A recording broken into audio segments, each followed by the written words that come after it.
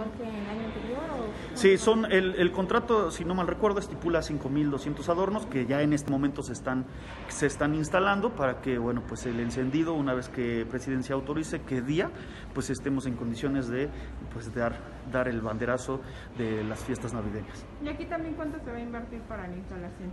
Eh, de parte de infraestructura, no, no hay ningún costo. Esto es parte del contrato de prestación de servicios del alumbrado público. No hay ningún concepto extraordinario en infraestructura.